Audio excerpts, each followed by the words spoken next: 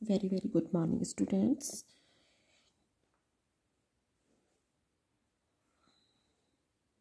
the deduction parts of integral representation of Gauss hypergeometric function are Gauss theorem, van der Moor theorem and Cumare's theorem are complete. Next we will solve the questions based on the integral representation of Gauss hyper geometric function first question is zero to pi by two d theta upon under the root of one minus sine square theta into K square equal to pi by two into two F one one by two one by two one K square alpha beta gamma x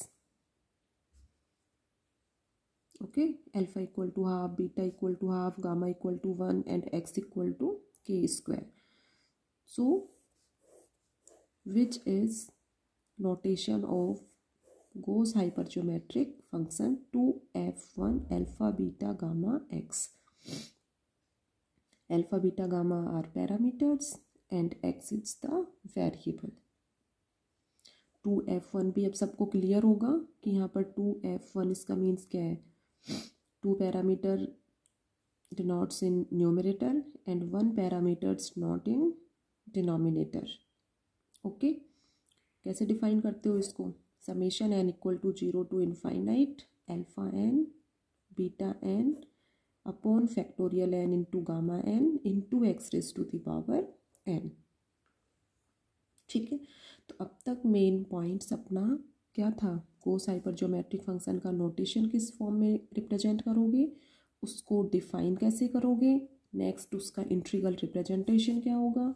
और उसकी next उसके deduction parts जो थे वो first गोस theorem था, जिसमें x equal to one put किया था। सेकंड गोस थ्योरम में alpha equal to minus n put करने से वेंडर मोड थ्योरम प्रूव किया था। And third part Kummer's theorem In Cumare's theorem, we put x equal to minus 1 and gamma minus beta minus 1 equals to alpha.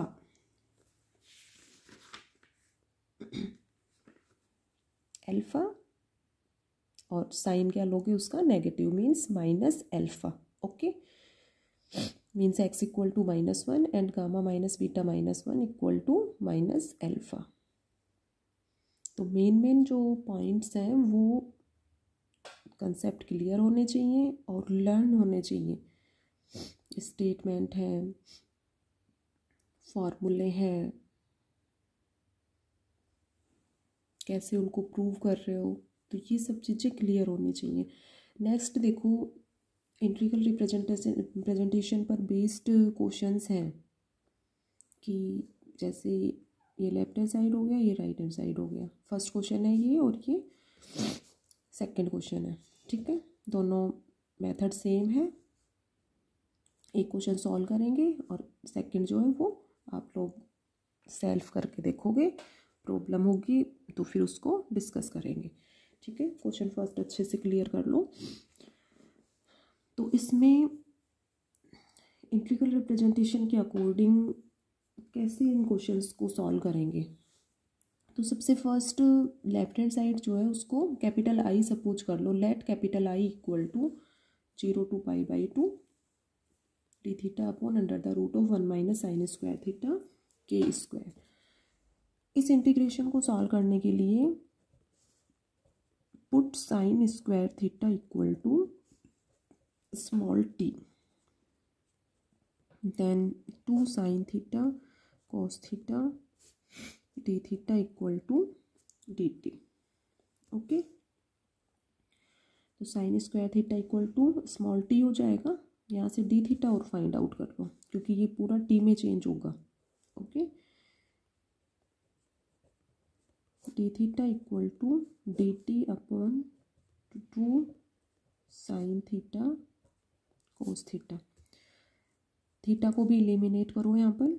D t upon two sine theta तो यहाँ से find out कर लो। Sine theta equal to under the root of t and cos theta को क्या लिख सकते हो? Under the root of one minus sine square theta तो under the root of one minus t okay अब देखो, ये पूरा टी में चेंज हो गया वेरिएबल वही साइन स्क्वायर थीटा को टी पुट कर रहे हो मीन्स थीटा वेरिएबल को टी की फॉर्म में लेके आना है तो ये पूरा चेंज होगा। लिमिट्स भी देखो, यहाँ पर लिमिट्स सेम रहेंगी या चेंज होंगी। तो यहाँ पर ये तो साइन थीटा यहाँ से इजीली फाइंड आउट कर लोगे अंडर रूट टी इसको कोस थीटा को क्या लिख सकते हो? Under the root of one minus sine square theta clear है सभी को। तो ये हो जाएगा under the root of one minus t okay limits देखो, यहाँ से देखो। Theta tends to zero then sine square zero sine zero zero तो t tends to zero and theta tends to pi by two then sine square pi by two हो जाएगा sine pi by two one होता है t tends to one limits किसमें change हो गई? Zero to one में.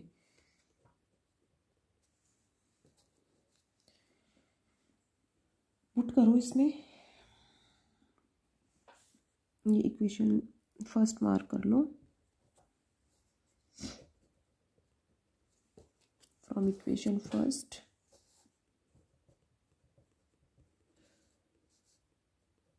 I equal to देखो limits तो हो गई zero to one d theta की वैल्यू पुट करो.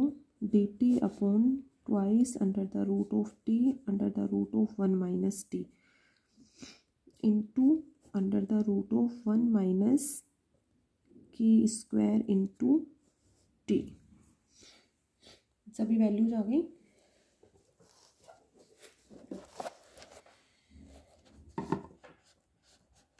Equal to zero to one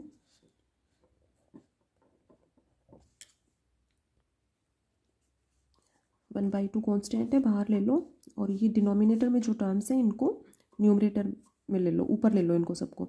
तो t raise to the power minus one by two one minus t raise to the power minus one by two and one minus K square t raise to the power minus one by two ठीक है? नीचे under root है, नीचे power means क्या हुआ? Denominator में power जो है वन बाई टू है। तो ऊपर ले जाओगे तो पावर क्या हो जाएगी सबकी? माइनस वन बाई टू और d t H it is अब देखो, यहाँ से क्लियर हो रहा है या ये कह सकते हो कि यहाँ से देखकर ये थोड़ा सा क्लियर हो रहा है यहाँ पर कि integral representation of hyper geometric function का जो स्टेटमेंट है, जो थ्योरम है, उसके अकॉर्डिंग क्या होता है उसमें? Zero to one t raise to the power beta minus one one minus t raise to the power gamma minus beta minus one one minus x t raise to the power minus alpha d t और यहाँ पर gamma function, beta function, gamma minus, beta. देखो, उसको result जो है उसको लो पहले, फिर क्लियर होगा ये। तो नेक्स्ट स्टेप देखिए। इसको इक्वेशन सेकंड मार्क कर लो, ठीक है? अब इसमें क्या करोगे? ये इंट्रीगल वाली टर्म है, ये सॉल्व करनी है अपने को ओके अब इस इंट्रीगल वाली टर्म को सॉल्व करने के लिए इंट्रीगल रिप्रेजेंटेशन रिज़ल्ट जो है उसको यूज़ कर सकते हो। क्योंकि देखो, यहाँ से ये इंट्रीगल वाली टर्म है और ये। ये दोनों सिमिलर है। मीन्स इस टर्म की वैल्यू इस रिज़ल्ट के अकॉर्डिंग फाइंड आउट करोगे। तो ये रिज़ल्ट अब सबको लर्न हो गया होगा। Integral representation of two F one alpha beta gamma x ये जो है, ये एल्फ़ा कोमा बीटा डॉट और ये तो ये इम्पोर्टेंट है, ये इसी तरह से यूज़ करना है आपको। ये नहीं कि यहाँ पर भी कोमा यूज़ कर लोगे। ठीक है? इसी तरह से नोटेशन देना है। टू एफ़ वन टू नीचे, फिर एफ़ बनाओगे, फिर वन और alpha beta gamma x notation are very very important तो इसकी वैल्यू इस रिज़ल्ट से फाइंड आउट करेंगे। तो इसमें क्या करूँ? ये रिज़ल्ट तो क्लियर है सभी को। लर्न भी हो गया होगा। बार बार यूज़ हो रहा है। तो इसमें ये इंटीग्रेशन वाली जो टर्म है इंट्रीगल टर्म है, इसकी वैल्यू फाइंड आउट कर लो। अब इसकी वैल्यू फाइंड आउट करोगे तो क्या करोगे? इसको लेफ़्ट हैंड साइड में शिफ्ट कर दो। इसको लेफ़्ट हैंड साइड में लाओगे तो ये तो न्यूमरेटर में आएगा और ये डिनोमिनेटर में अपोजिट हो जाएगा इस टर्म का, ठीक है? ये अपोजिट हो गया इस टर्म का, ये एच और ये इंट्रीगल वाली टर्म मीन्स क्या है कि इसकी वैल्यू इसके इक्वल हो जाएगी। ठीक है? अब सबसे फ़र्स्ट क्या करेंगे? इसके सॉल्यूशन के लिए, इसकी वैल्यू फाइंड आउट करने के लिए, इसको इससे कंपेयर कर लो। इन दोनों टर्म्स को कंपेयर कर लो। इनको कंपेयर करके अल्फ़ा बीटा गामा की वैल्यू फाइंड आउट करेंगे। If we compare equation second by this term we get the value of the parameters alpha beta and gamma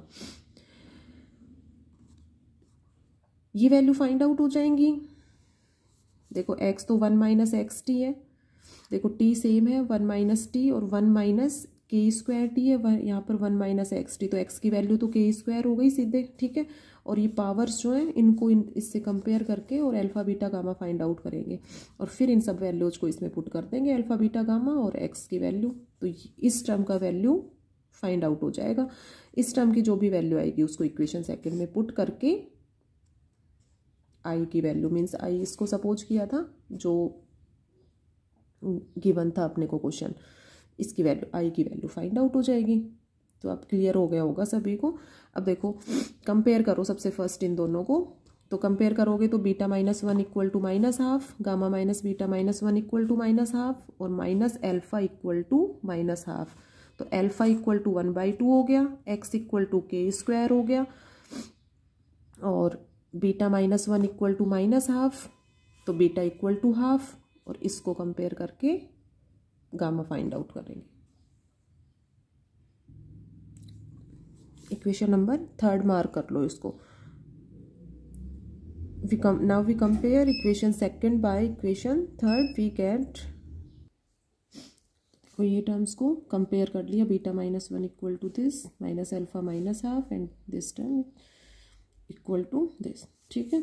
तो ये इजिली वैल्यूज़ आ गई यहाँ से beta equal to one by two alpha equal to one by two और यहाँ से gamma find out कर लो gamma equal to beta plus one minus half beta की वैल्यू पुट कर दो gamma equal to one x equal to K square ठीक है? तो ये alpha beta gamma and x की वैल्यू जो है वो फाइंड आउट हो गई।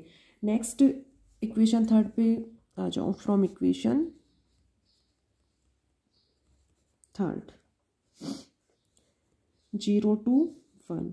T raise to the power beta minus one. तो ये हो हो गया one minus sorry, minus one by two. One minus t raise to the power gamma minus beta minus one, ये minus half. One minus x की value put कर दो के स्क्वायर, इस तरह से ले लो। Minus alpha minus half d t equal to अब देखो इक्वेशन थर्ड में लेफ़्ट हैंड साइड ये हो गया और राइट हैंड साइड में सब वैल्यूज़ पुट कर दो। Gamma function of beta gamma function of half gamma minus beta gamma minus beta की वैल्यू देखो। गामा वन है और बीटा वन बाई टू है। तो one minus one by two one by two upon gamma my upon only gamma है तो gamma की value one है gamma function of gamma one into into वाली टर्म को देखो, यहाँ ले लो अच्छे clearly open open terms alpha की वैल्यू पुट करो एल्फा बीटा गामा और x equal to K square ठीक है? गामा हाफ़ की वैल्यू सभी जानते हो? Gamma half equal to under the root of pi okay तो ये under root pi under root pi. Pi हो जाएगा gamma one equal to one तो gamma half equal to under root pi से under root pi into under root pi pi gamma one one हो जाएगा। Into twice F one one by two one by two one K square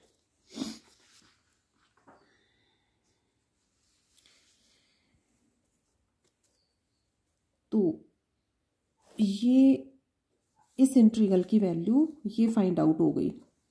next क्या करोगे? Equation second में यही term है जिसकी value solve करना था अपने को। इक्वेशन सेकंड में इस टर्म की वैल्यू पुट कर दो। ठीक है? तो इक्वेशन सेकंड में वन बाई टू इंटू ये इंट्रीगल टर्म थी तो इसकी वैल्यू ये एज इट इज़ पुट कर दिया तो ये pi upon two into this term यही प्रूव करना था। ठीक है? आई की वैल्यू पुट कर दिया और ये अपना टर्म सॉल्यूशन ये आ गया। तो यही अपने को प्रूव करना था। नेक्स्ट सेकंड पार्ट है। एच इट इज़ इसी तरह से साइन स्क्वायर थीटा को स्मॉल टी सपोज़ करते हुए इंट्रीगल रिप्रेजेंटेशन रिज़ल्ट जो है उसको यूज़ में लेते हुए और सेम इसी तरह से सॉल्व करके देखेंगे। तो एक बार इसका सॉल्यूशन करके देखना और जितना जैसे वीडियोस चल रहे हैं, उसके अकॉर्डिंग अपने नोट्स जो है नोटबुक में प्रॉपर प्रिपेयर करते जाओ और इसका सेकंड पार्ट सॉल्व करके सेंड करना मुझे। फिर प्रॉब्लम होगी तो उसको डिस्कस करेंगे।